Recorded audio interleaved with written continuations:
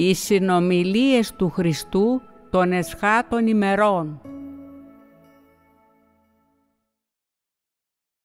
Η σημασία της επιδίωξης της αλήθειας και το μονοπάτι της επιδίωξής της. Για να γνωρίσεις τον εαυτό σου, πρέπει να μάθεις τις δικές σου εκφράσεις διαφθοράς, τη διεφθαρμένη διάθεσή σου, τις δικές σου ζωτικές αδυναμίες, καθώς και τη φύση ουσία σου. Πρέπει επίσης να γνωρίζεις μέχρι τελευταίας λεπτομέρειας εκείνα τα πράγματα που αποκαλύπτονται στην καθημερινή σου ζωή, τα κίνητρά σου, οι προοπτικές σου και η στάση σου για το καθετή, είτε είσαι στο σπίτι είτε έξω, όταν βρίσκεσαι σε συναθρήσεις, όταν τρως και πίνεις τα λόγια του Θεού ή σε κάθε θέμα που αντιμετωπίζεις. Μέσα από αυτές τις πτυχές πρέπει να καταφέρεις να γνωρίσεις τον εαυτό σου. Φυσικά, για να γνωρίσεις τον εαυτό σου σε βαθύτερο επίπεδο, πρέπει να ενσωματώσεις τα λόγια του Θεού. Μόνο όταν γνωρίσεις τον εαυτό σου με βάση τα λόγια Του, μπορείς να επιτύχεις αποτελέσματα. Κατά την αποδοχή της κρίσης των λόγων του Θεού, μη φοβάστε την ταλαιπωρία ή τον πόνο και επιπλέον μη φοβάστε ότι τα λόγια του Θεού θα διαπεράσουν την καρδιά σας και θα εκθέσουν τις άσχημες καταστάσεις σας. Είναι πολύ ωφέλιμο να υποστείτε αυτά τα πράγματα. Αν πιστεύετε στον Θεό, θα πρέπει να διαβάζετε περισσότερα από τα λόγια του Θεού που κρίνουν και παιδεύουν τους ανθρώπους, ειδικά εκείνα που αποκαλύπτουν την ουσία της διαφθοράς της ανθρωπότητας. Θα πρέπει να τα συγκρίνετε περισσότερο με την πρακτική σας κατάσταση και θα πρέπει να τα συνδέετε περισσότερο με τον εαυτό σας και λιγότερο με τους άλλους.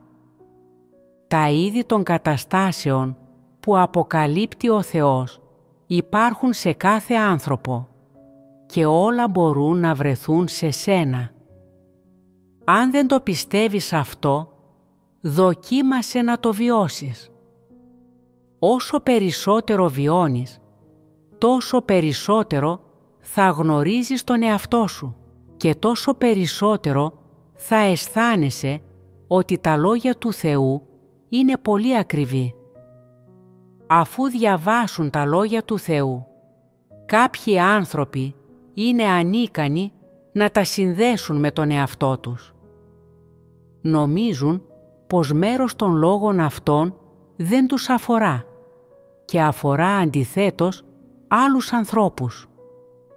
Για παράδειγμα, όταν ο Θεός εκθέτει τους ανθρώπους ως μοιχούς και πόρνους, κάποιες αδελφές πιστεύουν πως επειδή είναι απόλυτα πιστές στους συζύγους τους, τέτοια λόγια δεν πρέπει να έχουν σχέση με αυτές.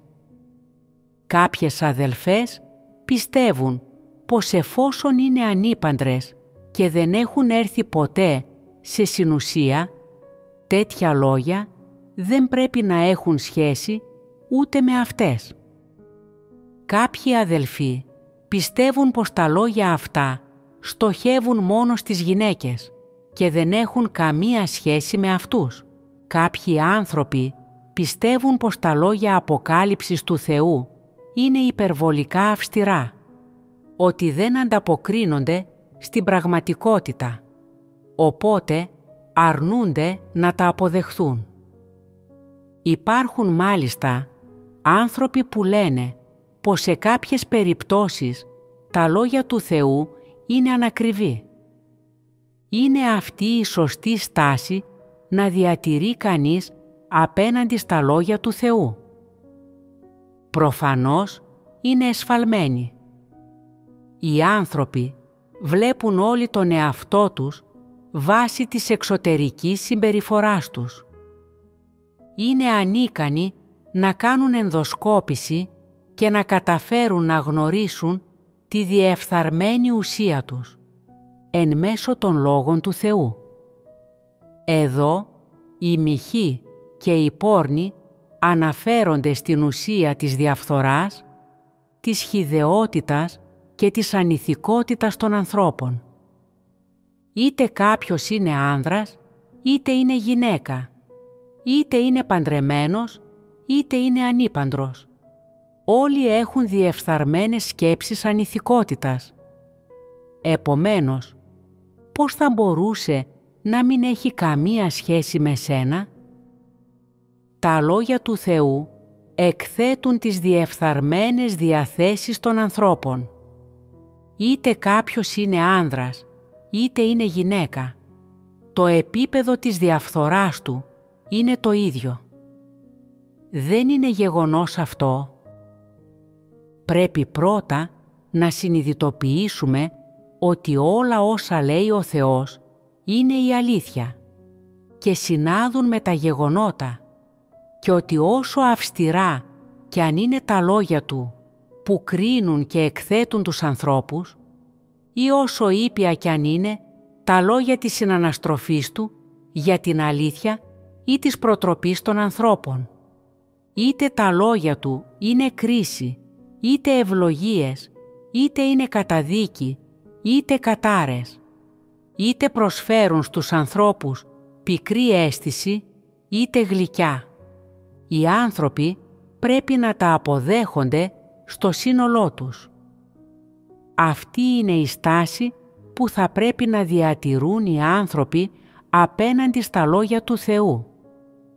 Τι είδους στάση είναι αυτή; Είναι μια ευσεβή στάση, μια ευλαβή στάση, μία υπομονετική στάση ή μία στάση αποδοχής των δεινών, είστε κάπως μπερδεμένοι. Σας λέω ότι δεν είναι καμία από αυτές. Στην πίστη τους, οι άνθρωποι πρέπει να υποστηρίζουν στεναρά ότι τα λόγια του Θεού είναι η αλήθεια. Εφόσον είναι πράγματι η αλήθεια, οι άνθρωποι θα πρέπει να τα αποδέχονται με τρόπο ορθολογικό.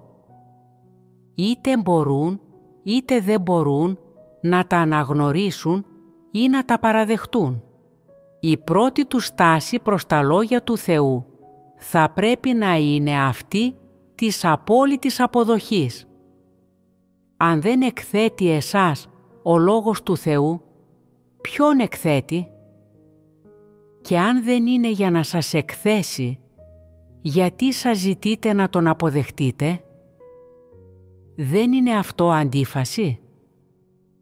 Ο Θεός μιλάει σε ολόκληρη την ανθρωπότητα, κάθε φράση που εκφέρει ο Θεός εκθέτει τη διεφθαρμένη ανθρωπότητα και κανείς δεν εξαιρείται, συμπεριλαμβανομένων φυσικά και εσάς ούτε ένας από τους στίχους των ομιλιών του Θεού.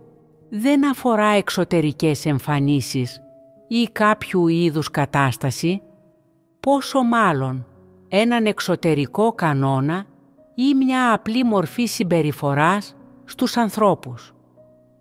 Δεν είναι έτσι. Εάν νομίζεις πως κάθε στίχος που εκφέρεται από τον Θεό αποκαλύπτει απλώς ένα είδος ανθρώπινης συμπεριφοράς ή εξωτερικής εμφάνισης, τότε δεν διαθέτεις πνευματική κατανόηση και δεν κατανοείς τι είναι η αλήθεια. Τα λόγια του Θεού είναι η αλήθεια. Οι άνθρωποι μπορούν να αισθανθούν το πόσο βαρισίμαντα είναι τα λόγια του Θεού. Με ποιον τρόπο είναι βαρισίμαντα; κάθε λέξη του Θεού εκθέτει τις διεφθαρμένες διαθέσεις των ανθρώπων και τα ουσιώδη και βαθιά ριζωμένα πράγματα μέσα στη ζωή τους. Είναι ουσιώδη πράγματα. Δεν είναι εξωτερικές εμφανίσεις και κυρίως δεν είναι εξωτερικές συμπεριφορές. Αν δει κανείς τους ανθρώπους από την εξωτερική τους εμφάνιση μπορεί όλοι να φαίνονται καλοί άνθρωποι. Μα γιατί λοιπόν λέει ο Θεός ότι κάποιοι άνθρωποι είναι κακά πνεύματα και κάποιοι είναι ακάθαρτα πνεύματα. Αυτό είναι ένα θέμα που δεν είναι ορατό σε σένα. Έτσι, δεν πρέπει να αντιμετωπίζει κανείς τα λόγια του Θεού υπό το πρίσμα ανθρώπινων αντιλήψεων ή φαντασιοκοπιών ή υπό το πρίσμα ανθρώπινων φημολογιών και σίγουρα όχι υπό το πρίσμα των δηλώσεων του κυβερνώντος κόμματος. Μόνο τα λόγια του Θεού είναι η αλήθεια. Όλα τα λόγια του ανθρώπου αποτελούν πλάνη. Αφού δεχθήκατε αυτήν τη συναναστροφή, έχετε βιώσει κάποια αλλαγή στη στάση σας απέναντι στα λόγια του Θεού; Όσο μεγάλη ή μικρή κι αν είναι η αλλαγή, την επόμενη φορά που θα διαβάσετε τα λόγια του Θεού, που κρίνουν και αποκαλύπτουν τους ανθρώπους, τουλάχιστον δεν θα πρέπει να προσπαθήσετε να λογικέψετε τον Θεό. Θα πρέπει να σταματήσετε να παραπονιέστε για τον Θεό, λέγοντας «Τα λόγια αποκάλυψης και κρίσης του Θεού είναι πολύ αυστηρά. Δεν θα τη διαβάσω αυτήν τη σελίδα. Απλώς θα την προσπεράσω. Ας ψάξω κάτι να διαβάσω περί ευλογιών και υποσχέσεων ούτως ώστε να βρω κάποια παρηγοριά. Δεν θα πρέπει πλέον να διαβάζετε τον Λόγο του Θεού, ξεχωρίζοντας και επιλέγοντας σύμφωνα με τις δικές σας κλήσεις. Πρέπει να αποδεχτείτε την αλήθεια και την κρίση και την πέδευση των Λόγων του Θεού και μόνο τότε μπορεί να καθαρθεί η διεφθαρμένη σας διάθεση, μόνο τότε μπορείτε να επιτύχετε τη σωτηρία παρόλο που γνωρίζετε πια ότι όλα τα λόγια του Θεού είναι αλήθεια και είστε πρόθυμοι να επιδιώξετε την αλήθεια. Εξακολουθείτε να έχετε τις δικές σας προτιμήσεις και επιλογές όσον αφορά το πώς αντιμετωπίζετε τα λόγια του Θεού και εξακολουθείτε να ενεργείτε σύμφωνα με το δικό σας θέλημα είστε εξαιρετικά πρόθυμοι να διαβάσετε τα λόγια υπόσχεσης και ευλογίας του Θεού και θυμάστε ιδιαίτερα τα λόγια υπόσχεσης του Θεού. Νιώθετε παρηγοριά διαβάζοντας λόγια σαν κι αυτά. Νιώθετε λίγη ελπίδα και διαπιστώνετε ότι έχετε ακόμη τη δύναμη και το κίνητρο να πιστεύετε στον Θεό. Δεν είστε όμως πρόθυμοι να διαβάσετε τα λόγια του Θεού που κρίνουν και εκθέτουν τους ανθρώπους. Διότι αν κάποιος διαβάζει πάντα τα λόγια του Θεού που εκθέτουν τους ανθρώπους, τους κρίνουν και τους παιδεύουν, τότε νιώθει αγωνία και η δύναμη της πίστης τους στον Θεό εξασθενίζει. Οπότε, πώς μπορεί να προχωρήσει μπροστά; Σήμερα οι περισσότεροι άνθρωποι δεν μπορούν να κατανοήσουν τα λόγια του Θεού που αποκαλύπτουν μυστήρια. Θεωρούν ότι είναι πολύ βαθιστόχαστα και ότι τα λόγια της ευλογίας είναι κάτι που δεν μπορούν να φτάσουν. Όταν διαβάζουν τα λόγια του Θεού που εκθέτουν τη διεφθαρμένη διάθεση του ανθρώπου, μπορούν να καταλάβουν κάποια από αυτά και ακόμη και αν καταφέρουν να συνδέσουν αυτά τα λόγια με τον εαυτό τους και να παραδεχτούν μέσα τους ότι αυτά τα λόγια είναι τα γεγονότα, εξακολουθούν να είναι απρόθυμοι να τα αποδεχτούν. Βλέπεις πόσο προβληματικοί είναι οι άνθρωποι. Γνωρίζουν ότι ο λόγος του Θεού είναι η αλήθεια, αλλά δεν εννοούν να τον αποδεχτούν θέλουν να λάβουν ευλογίες κι όμως δεν μπορούν να τις αποκτήσουν. Πώς θα πρέπει λοιπόν κάποιος να τρώει και να πίνει σωστά τον Λόγο του Θεού; Πρώτα απ' όλα θα πρέπει να διαβάζει περισσότερα από τα λόγια του Θεού που αποκαλύπτουν μυστήρια. Όταν διαβάζει κανείς τέτοια λόγια, νιώθει ότι ο Θεός βρίσκεται στον τρίτο ουρανό και είναι υψηλός και ότι ο ίδιος πρέπει να έχει θεοφοβούμενη καρδιά.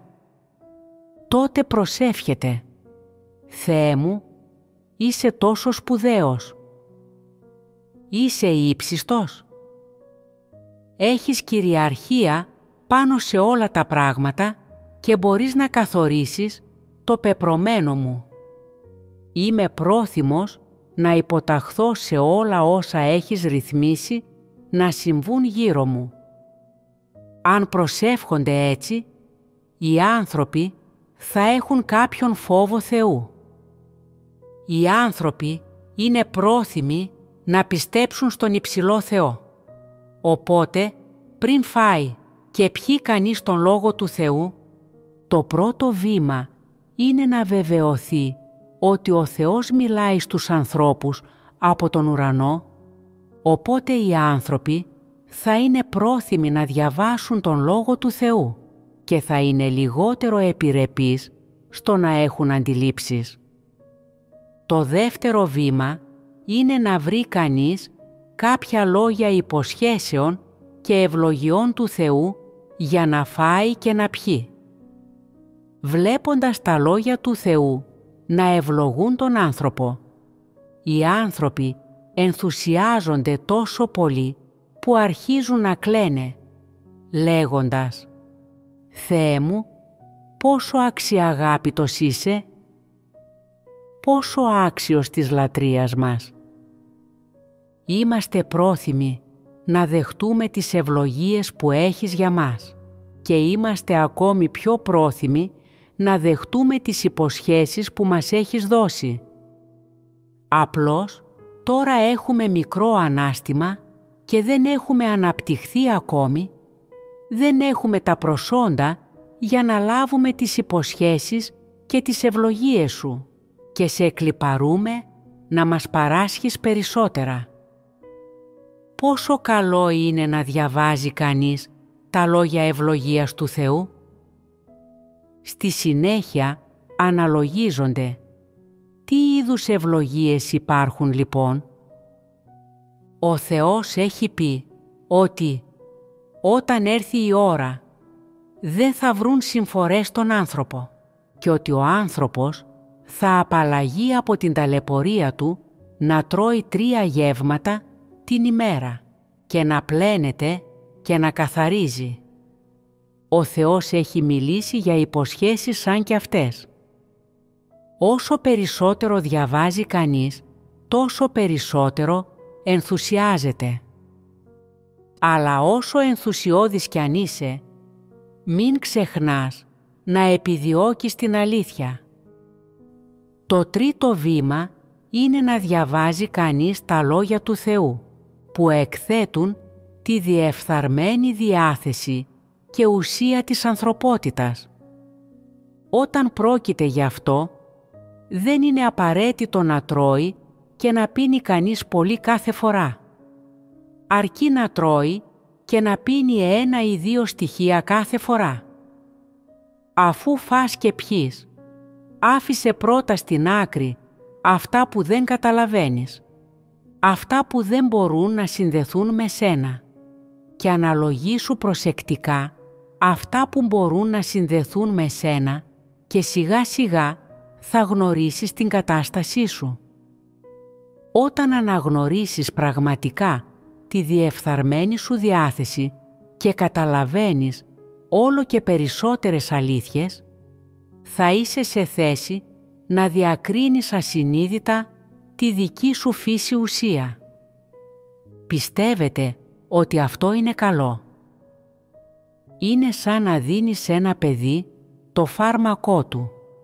Πρώτα του δίνεις κάτι νόστιμο για να το καλοπιάσεις και μετά Όταν δεν προσέχει, του δίνεις μία γουλιά φάρμακο. Αν του φαίνεται πικρό, του δίνεις άλλες δυο καραμέλες για να το καλοπιάσεις και να πάρει το φάρμακό του. Όταν όμως μεγαλώσει, αυτό δεν είναι πλέον απαραίτητο. Πίνει το φάρμακο από μόνο του, ξέροντας πολύ καλά πόσο πικρό είναι. Αυτό είναι θέμα αναστήματος. Αν δεν έχεις το ανάστημα και σου ζητήσουν να βρεις τον Λόγο του Θεού, εκείνα τα λόγια που εκθέτουν τη διεφθαρμένη φύση του ανθρώπου και τις σχετικές αλήθειες και να συγκρίνεις τον εαυτό σου με αυτά και αν σε βάλουν να τρως και να πίνεις από αυτά τα λόγια όλη μέρα, στο τέλος θα σε κουράσουν, επειδή η εμπειρία σου δεν φτάνει ως εκεί και δεν είναι αρκετή για κάτι τέτοιο. Επομένως, πρέπει να προσθέσεις κάτι γλυκό ανάμεσά τους και όσοι είναι μικροί στο ανάστημα πρέπει να τρώνε και να πίνουν τα λόγια του Θεού με αυτόν τον τρόπο. Αν είσαι συχνά αδύναμος και αρνητικός και δεν έχεις αληθινή πίστη ή ελπίδα, θα πρέπει να σπεύσεις να φας και να πιείς κάποια λόγια σχετικά με τις ευλογίες και τις υποσχέσεις του Θεού και να βρεις να φας και να πιείς λόγια του Θεού που αποκαλύπτουν μυστήρια. Αν νιώσεις τη δύναμή σου να αυξάνεται και τη σχέση σου με τον Θεό να γίνεται πιο στενή, τότε στη βράση κολλάει το σίδερο. Πρέπει να βρεις λόγια για να φας και να πιείς σχετικά με την πέδευση και την κρίση και με αυτόν τον τρόπο η βρώση και η πόση θα πιάσουν τόπο πιο εύκολα και δεν θα καθυστερήσεις την ανάπτυξη της ζωής. Όταν τρως και πίνεις από τα λόγια του Θεού, αν έχεις μικρό ανάστημα, πρέπει να ξέρεις πώς να κάνεις προσαρμογές. Να τρως και να πίνεις με τέτοιον τρόπο, ώστε να βρεθείς σε καλή ψυχική κατάσταση και να αναπτυχθείς γρήγορα. Να τρως και να πίνεις από ό,τι σου είναι προσιτό και να αφήνεις στην άκρη ό,τι δεν είναι. Και να προσπαθείς να κάνεις πράξη και να βιώνεις αυτά που κατάλαβες τρώγοντας και πίνοντας.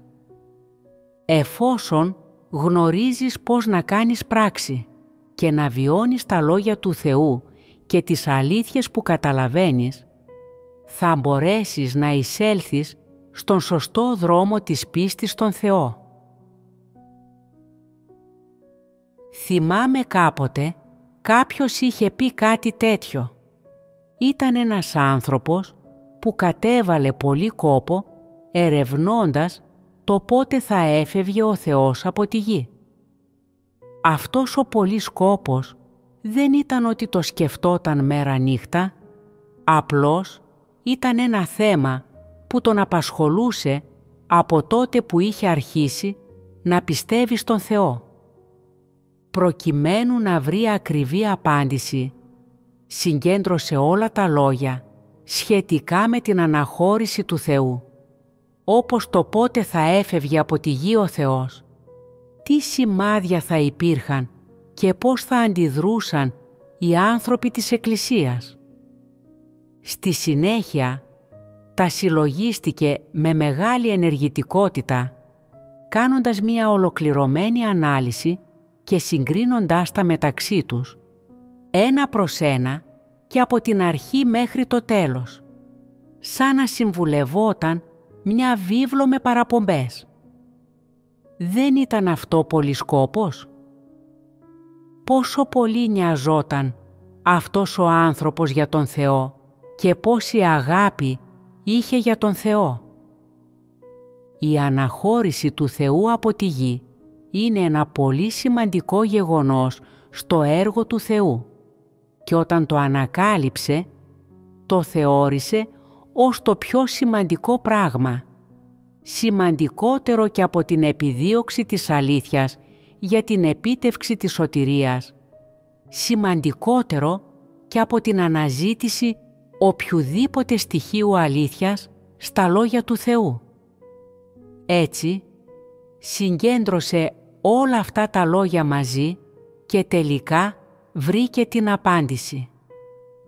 Αφήνοντας κατά μέρος την ακρίβεια των αποτελεσμάτων της έρευνάς του, τι πιστεύετε για τις απόψεις ενός τέτοιου ανθρώπου σχετικά με την επιδίωξη της πίστης στον Θεό; Και τον τρόπο με τον οποίο την επιδίωξε.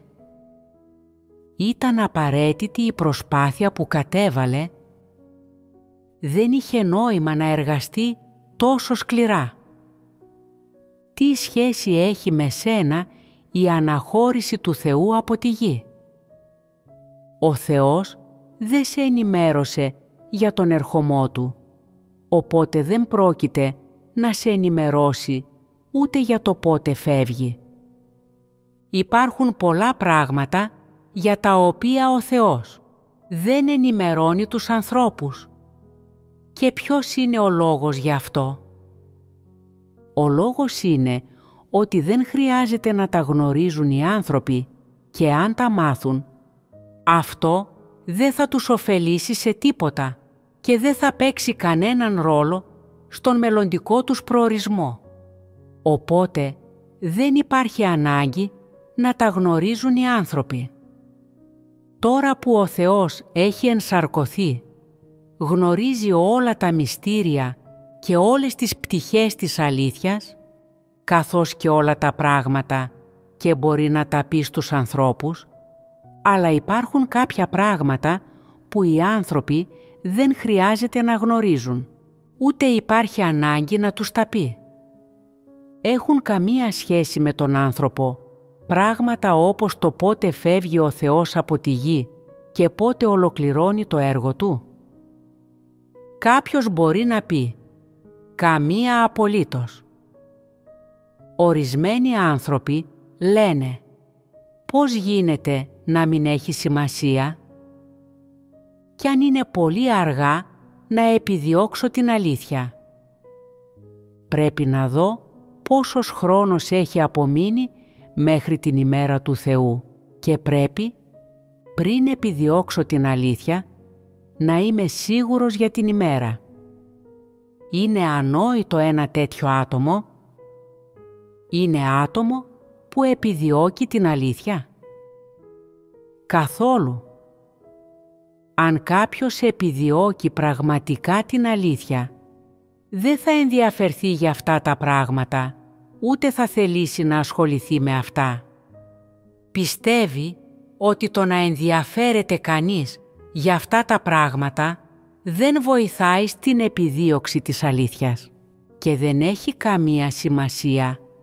Οπότε δεν προτίθεται να αφιερώσει σκέψη και προσπάθεια σε αυτά τα βαρετά θέματα. Κάποιοι άνθρωποι ανησυχούν διαρκώς για το πότε θα έρθει η ημέρα του Θεού. Δεν είναι αυτό όμως μία προσωπική σκοπιμότητα.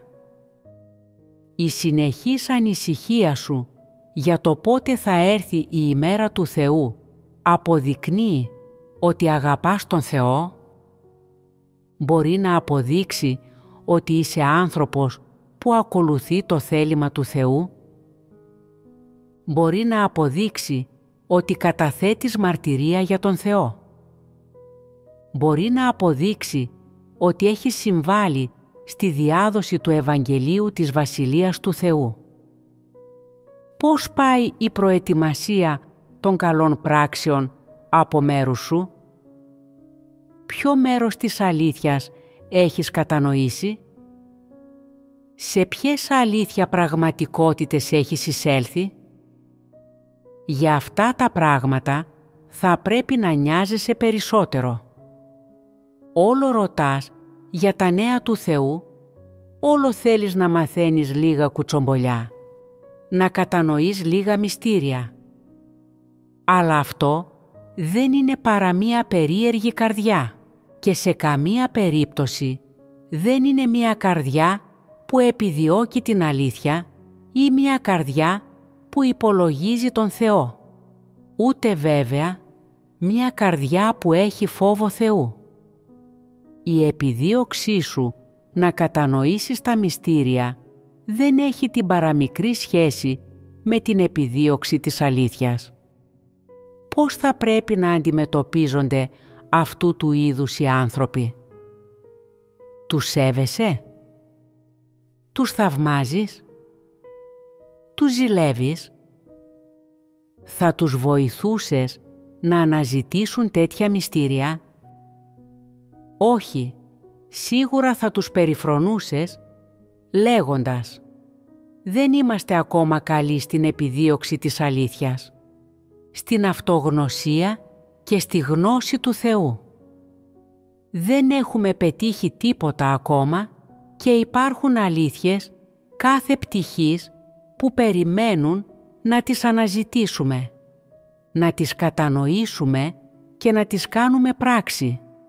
Οπότε δεν χρειάζεται να καταβάλουμε προσπάθεια για να ερευνήσουμε τέτοια μυστήρια. Στην πραγματικότητα, εφόσον έχεις τον Θεό στην καρδιά σου και την επιθυμία να επιδιώξεις την αλήθεια, όταν έρθει η μέρα, ο Θεός δεν θα σε αφήσει στην άγνοια.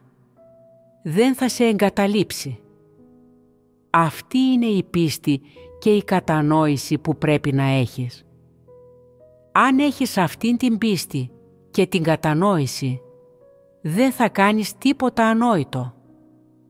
Αν ο Θεός είχε την πρόθεση να σου το πει, δεν θα το έλεγε απευθείας. Θα υπήρχε λόγος να υπεκφεύγει; Θα υπήρχε ανάγκη να κρύβει λόγια μέσα στα λόγια; Θα υπήρχε ανάγκη να είναι μυστικοπαθής; Καμία. Αυτό που σκοπεύει να γνωστοποιήσει ο Θεός τους ανθρώπους είναι η αλήθεια. Όλα όσα εκφράζουν το έργο, τα λόγια και οι προθέσεις του είναι η αλήθεια και δεν θα τα κρύψει καθόλου από τους ανθρώπους. Επομένως, δεν υπάρχει καμία ανάγκη να ρωτάς για αυτά που ο Θεός δεν θέλει να μάθουν οι άνθρωποι ούτε χρειάζεται να τα αναλογίζεσαι, διότι η προσπάθεια που θα καταβάλεις για αυτά τα πράγματα θα είναι μάταιη και δεν θα έχει καμία απολύτως αξία, αλλά θα είναι απεχθής για τον Θεό. Γιατί θα είναι απεχθής για τον Θεό; Πρώτα απ' όλα πρέπει να καταλάβεις ότι ο Θεός έχει εκφράσει πολλές αλήθειες και οι αλήθειες εκφράζονται σε όλους τους τομείς. Αν δεν αναζητάς την αλήθεια για να διορθώσεις τα δικά σου αληθινά προβλήματα όταν σου συμβαίνει κάτι, τότε δεν αγαπάς την αλήθεια. Είσαι ένα άτομο υπερβολικά περίεργο. Ένα άτομο που του αρέσει να διηλίζει τον κόνοπα. Ένα άτομο που αντιμετωπίζει τα λόγια του Θεού χωρίς τον πρέποντα σεβασμό και πάντα με επιπόλαιο τρόπο. Δεν έχεις θέση για τον Θεό στην καρδιά σου. Το μόνο που έχεις στην καρδιά σου είναι μερικά πράγματα που ο Θεός δεν θέλει να ξέρεις, όπως το πώς είναι και πού βρίσκεται πραγματικά η κατοικία Του. Ο τρίτος ουρανός πώς θα είναι η μελλοντική βασιλεία και πότε θα αποχωρήσει από τη γη η ενσάρκωση του Θεού. Αυτός είναι ο λόγος για τον οποίο λέω ότι ο Θεός σε απεχθάνεται. Υπάρχει κάποιος λόγος που σε απεχθάνεται ο Θεός; Ας υποθέσουμε ότι τα παιδιά σου δεν διάβαζαν σκληρά όλη μέρα και δεν έκαναν τις εργασίες που έπρεπε να κάνουν. Αλλά αντίθετα συλλογίζονταν ερωτήματα όπως «Πώς γνωρίστηκαν ο πατέρας και η μητέρα μου» «Πώς με γέννησαν» «Αφού γεννήθηκα, με συμπάθησαν» «Πώς θα τα πάει η οικογένειά μου στο μέλλον» θα μπορέσουμε να κάνουμε περιουσία; Θα αντιπαθούσε σε ένα παιδί που θα το απασχολούσαν συνέχεια αυτά τα ερωτήματα; Θα απεχθανώσουν το να κάνουν κάτι τέτοιο τα παιδιά σου; Τι θα ήθελες να κάνουν τα παιδιά σου; Να μάθουν να διαβάζουν και να γράφουν καλά και να μελετούν σκληρά.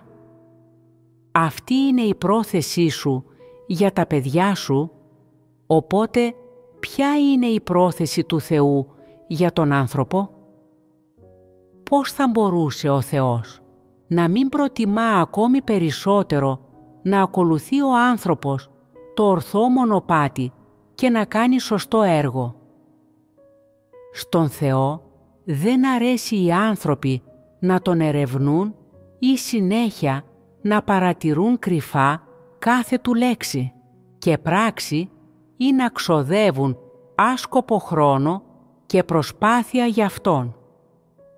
Πολλοί είναι εκείνοι που ερευνούν διαρκώς πότε θα έρθει η ημέρα του Θεού.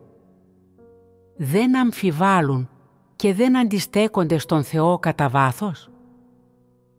Ποιο είναι το πρόβλημα του ότι ο άνθρωπος δεν θεωρεί πολύτιμες, ούτε επιδιώκει τις πολλές αλήθειες που εκφράζει ο Θεός; Ένας ευσεβής άνθρωπος αναζητά την αλήθεια και προσπαθεί στα πάντα να αντιληφθεί τις προθέσεις του Θεού και αφού διαβάσει τα λόγια του Θεού μπορεί να είναι σίγουρος ότι αυτά τα λόγια είναι η αλήθεια και ότι οι άνθρωποι πρέπει να τα κάνουν πράξη και να υποτάσσονται σε αυτά.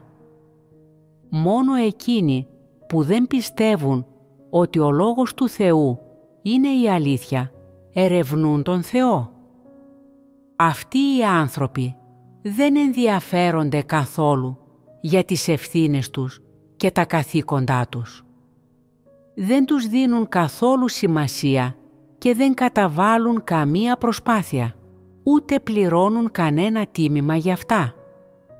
Αντιθέτως, τους απασχολούν συνεχώς πράγματα όπως το πότε θα φύγει ο Θεός από τη γη πότε θα φέρει ο Θεός την καταστροφή και πόσος καιρός μεσολαβεί μέχρι την ημέρα του Θεού, καθώς και περίεργα ερωτήματα όπως «Θα εξακολουθήσει ο Θεός να μας συναντά αφότου εγκαταλείψει τη γη» θα είναι το έργο του Θεού το ίδιο και μετά την αποχώρησή Του από τη γη; Αφότου φύγει ο Θεός από τη γη, πόσο καιρό θα παραμείνει στον τρίτο ουρανό; Θα επιστρέψει; Θα υπάρχουν άγγελοι στη μελλοντική εποχή της Βασιλείας; Οι άγγελοι αλληλεπιδρούν με τους ανθρώπους. Ο Θεός απεχθάνεται το να ερευνούν οι άνθρωποι συνεχώς τέτοιου είδους θέματα. Σε τι θα πρέπει λοιπόν να εστιάσει ο άνθρωπος; Πώς να γνωρίσει τον ενσαρκωμένο Θεό, πώς να γνωρίσει το έργο του Θεού; Και πώς να κατανοήσει κάθε λέξη που έχει πει ο Θεός. Αυτές είναι οι ευθύνες του ανθρώπου και είναι τα πρώτα πράγματα που θα πρέπει να επιζητήσει να κατανοήσει ο άνθρωπος και να εισέλθει σε αυτά. Εάν δεν επιζητάς να κατανοήσεις και να εισέλθεις σε αυτές τις αλήθειες. Τότε η πίστη σου στον Θεό είναι χωρίς νόημα. Ένα κενό σύνθημα χωρίς πραγματικό περιεχόμενο. Αν συλλογίζεσαι διαρκώς κρυφά τα πράγματα που σχετίζονται με τα μυστήρια και με το πότε θα φύγει ο Θεός από τη γη, αν μιλάτε διαρκώς μεταξύ σας για το πού γεννήθηκε η σάρκα του Θεού. Σε τι είδους οικογένεια γεννήθηκε, τι είδους οικογενειακό υπόβαθρο έχει, τι είδους ζωή έχει, πόσων χρονών είναι, τι είδους μόρφωση έλαβε, αν πίστεψε ποτέ στον Θεό, αν διάβασε ποτέ τη βίβλο και για πόσο καιρό πίστεψε στον Ιησού και ούτω καθεξής. Αν ερευνάτε συνεχώς αυτά τα πράγματα, τότε κρίνετε τον Θεό και βλασφημείτε τη σάρκα του Θεού. Ο Θεός θέλει να γνωρίσεις τη διάθεση και την ουσία Του, ώστε να κατανοήσεις τις προθέσεις Του, να μπορέσεις να υποταχθείς σε Αυτόν και να μπορέσεις να κάνεις πράξη την αλήθεια για να Τον ικανοποιήσεις. Δεν σου επιτρέπει να Τον ερευνάς και να συζητάς για Εκείνον πίσω από την πλάτη Του. Επομένως, εφόσον έχουμε αποδεχτεί την ενσάρκωση του Θεού και αυτό το στάδιο του έργου του Θεού και έχουμε αποδεχτεί τον Χριστό ως ζωή και Θεό μας, θα πρέπει να έχουμε θεοφοβούμενη καρδιά και να αντιμετωπίζουμε με ευλαβική στάση τα υπάρχοντα και την ύπαρξη του Θεού, καθώς και τη σάρκα στην οποία έχει ενσαρκωθεί. Αυτή είναι η λογική και η ανθρώπινη φύση που πρέπει να έχουμε. Αν αισθάνεσαι ότι δεν έχεις καμία γνώση του Θεού τώρα, τότε μη μιλάς γι' αυτό. Ανταυτού, να μιλάς για την αυτογνωσία, για το πώς να επιδιώκεις την αλήθεια και για το πώς να εκτελείς καλά τα καθήκοντά σου και να εξοπλίζεσαι με αυτές τις πτυχές της αλήθειας. Μία μέρα, όταν νιώσεις ότι έχεις κάποια αληθινή γνώση του Θεού, θα μπορέσετε να συναναστραφείτε μαζί. Αλλά μην επιχειρήσετε να μιλήσετε για πληροφορίες σχετικά με την ενσαρκωμένη σάρκα του Θεού ή για κάποια άγνωστα μυστήρια, γιατί εύκολα μπορεί να προσβάλλετε τη διάθεση του Θεού, να σας καταδικάσει ο Θεός και να γίνετε βλάσφημοι και τότε το Άγιο Πνεύμα θα σε απαρνηθεί. Αυτό είναι ένα θέμα που πρέπει να διακρίνεις καθαρά. Μπορεί η επιδίωξη της αλήθειας να αντικατασταθεί από τη συνεχή έρευνα του Θεού και την ενασχόληση με κουτσομπολιά; Μπορεί αυτό να σου επιτρέψει να γνωρίσεις τον Θεό. Αν δεν μπορείς να διακρίνεις καθαρά αυτά τα πράγματα, δεν είσαι πολύ ανόητος και αδαής. Οι άνθρωποι πρέπει να καταλάβουν τι ακριβώς είναι η αναζήτηση της αλήθειας. Γιατί εκφράζει ο Θεός τόσες αλήθειες για να σώσει τους ανθρώπους; Γιατί απαιτεί ο Θεός από τους ανθρώπους να κατανοήσουν τόσες αλήθειες; Αν κάποιος δεν κατανοεί αυτές τις αλήθειες, μπορεί να διορθώσει τη διεφθαρμένη του διάθεση; Μπορεί κανείς να γνωρίσει τον Θεό χωρίς να κατανοήσει αυτές τις αλήθειες; Εάν κάποιος δεν γνωρίζει τον Θεό, μπορεί να επιτύχει την υποταγή στον Θεό. Μπορεί να λατρεύει τον Θεό. Όλες αυτές οι αλήθειες σχετίζονται μεταξύ τους. Πώς μπορεί κανείς να επιτύχει τη σωτηρία χωρίς να κατανοήσει αυτές τις αλήθειες; Είναι εύκολο να κατανοήσει κανείς αυτές τις αλήθειες; Μπορεί κανείς να επιτύχει την κατανόηση της αλήθειας χωρίς να βιώσει την κρίση και την πέδευση. Μπορεί κανείς να γνωρίσει τον εαυτό του χωρίς να βιώσει κλάδεμα. Μπορεί κανείς να μετανοήσει αληθινά χωρίς να γνωρίσει τον εαυτό του. Μπορεί κανείς να επιτύχει τη σωτηρία χωρίς αληθινή μετάνοια.